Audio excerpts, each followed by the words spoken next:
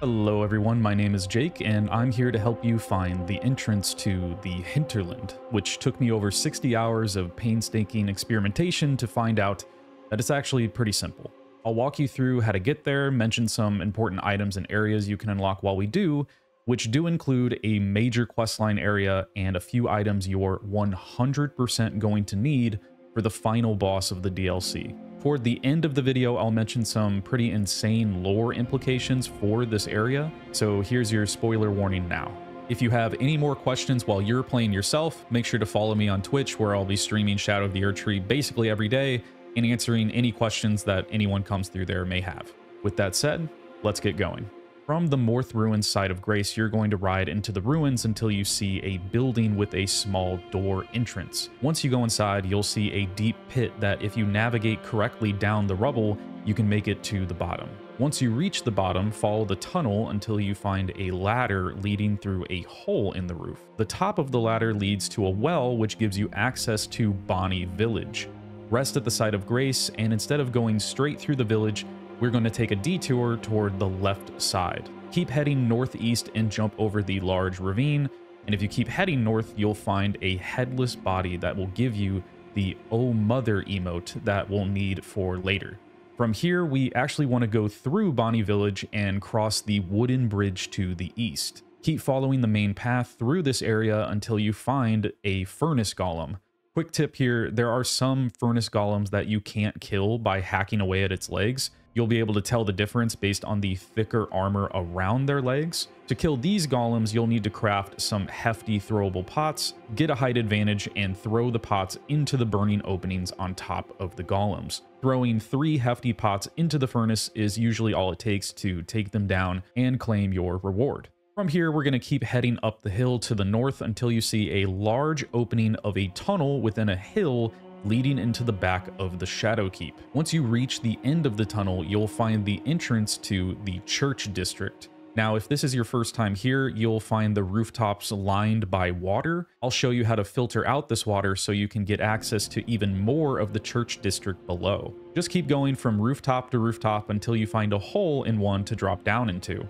Once you do, look behind you and you'll find a small door that will lead to an interaction with one of Messmer's faithful knights, where you can give him a certain item that will grant you a pretty cool reward. But continuing through this area, you'll find a side path to the left after you deal with another Fire Knight. Follow this path after dealing with some bats, climb up a ladder, and you'll find a lever that will filter out all of the water in this area, leading to even more awesome discoveries. If you continue back to the main path, you'll be able to jump on the arms of Marika's statue and get yourself another valuable Scadutree fragment. You can continue on this separate side path that will lead you to a very long elevator that will take you back up to the back area of the specimen storehouse within the Shadowkeep.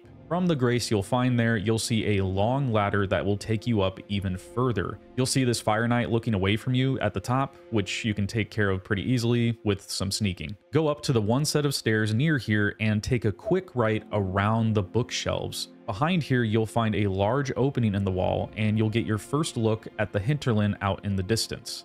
From the side of Grace around this path back inside, you'll find another lift taking you to the upper areas of the keep. Just follow the path around until you find another set of lifts. Small tip here, just send one of the lifts down and jump onto the top of the other lift to be able to get this Firekeeper summon. From these lifts, if you just turn around, you'll see a balcony if you drop down a couple of levels with an opening in the wall. Follow the path here and you'll find another elevator that will take you down another side path that will lead you to yet another long elevator ride down to the back entrance of the Shadowkeep. If you take an immediate right, you'll see a statue of Marika and a message on the ground saying, Have mercy for the spirited away shamans. On this message, use the Oh Mother emote we found earlier, and the statue will slide to the side and grant you access to the beautiful hinterland. So now that you have access, this is where I'll be getting a little spoilery with what you can find in this area, so if you don't care about that, will continue. But here's another spoiler warning for you. Progressing forward, you'll come across two tree sentinels that you can fight separately that give you a boatload of runes each. Once they're defeated, you'll have access to two different side paths. If you go left across the bridge, you'll be able to make your way toward a finger shrine where you can continue Ymir's questline. I'll be making a completely separate video on that. But if you take the right path up the hill, you'll find a beautiful shaman village gleaming with golden flowers. At the center, you can find an incantation called Minor Erdtree, which if you remember is an incantation Melina can use if you summon her for the Morgott boss fight. Its description mentions that Marika bathed the village of her home in gold, knowing full well that there was no one to heal, potentially insinuating that this area of the hinterland is Marika's homeland within the Shadow Realm. If you continue up this hill, you'll find a dead tree and what looks to be the body of Marika herself. The item you can find here is the Golden Braid, which boosts holy damage negation by the utmost. For the last boss of the DLC, this is a must-have in my opinion. You'll know what I mean when you get there yourself. The description says, what was her prayer, her wish, her confession?